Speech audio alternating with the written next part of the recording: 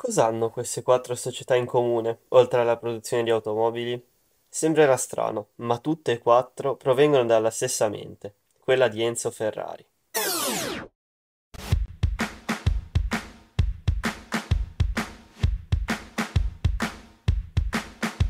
Negli anni 40 Enzo fondò la Ferrari.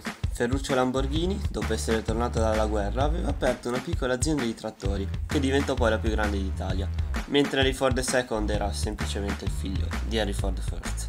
E il primo intreccio nella nostra storia avvenne proprio tra i due imprenditori italiani. Ferruccio, ormai businessman di successo, notò un difetto nella frizione della sua Ferrari e siccome una delle parti più importanti dei trattori è proprio la frizione, decise di proporre una collaborazione tra le due aziende, incontro che portò alla famosa frase. Torni ai suoi trattori, contadino. Ferruccio allora, ferito nell'orgoglio, convocò alcuni dei migliori ingegneri di tutta Italia per creare la prima Lamborghini, la 350 GTV, di cui venne prodotto un solo esemplare, che venne esposto al Salone di Ginevra. Per la produzione in serie venne ideata la 350 GT, versione più moderata, e in seguito venne presentata la Miura. Il resto è storia. Subentra così Henry Ford II, la Ferrari, nel 63, entrò in una profonda crisi finanziaria e il colosso americano si propose come acquirente del Cavallino. E nel 65 la trattativa sembrava essere andata in porto, ma una soffiata al presidente della Fiat Gianni Agnelli convinse quest'ultimo a rilanciare l'offerta Ford e acquisire l'azienda di Modena. Inoltre, durante la trattativa, Ford non prevedeva nei suoi termini l'autonomia della Ferrari, che sarebbe dovuta completamente sottomettersi all'azienda statunitense. Questo fece infuriare Enzo, che insultò, e non poco, Henry Ford.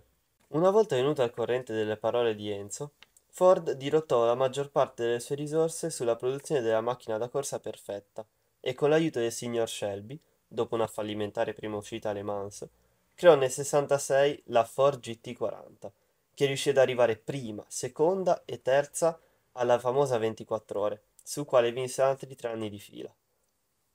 Arriviamo quindi all'ultimo intreccio, ed il più indiretto.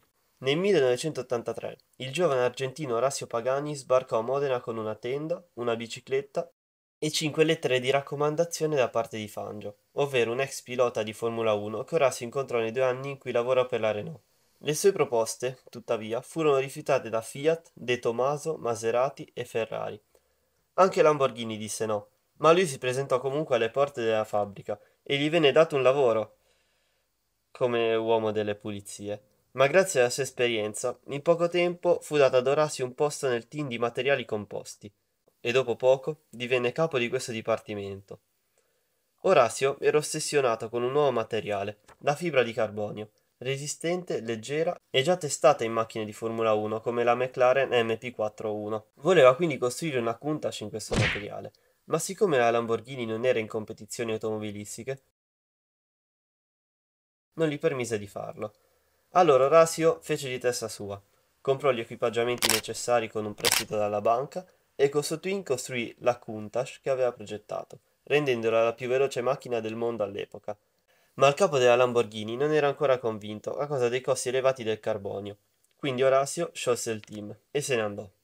Aprì così un suo negozio, dove creava parti in carbonio per team di corse, e dopo anni e anni di design, sacrifici e studi, nel 1999 nacque la prima Pagani, la Zonda C12, la prima di tante Pagani che rivoluzioneranno la storia dell'industria automobilistica. Probabilmente non sapeva cosa stava andando incontro e soprattutto cosa avrebbe creato quelle sue azioni, ma una cosa è certa, senza Enzo Ferrari e il suo carattere, il panorama automobilistico non sarebbe stato tanto vario e affascinante. Se questo video ti è piaciuto lascia like e iscriviti. Noi ci vediamo nel prossimo video. Ciao bello!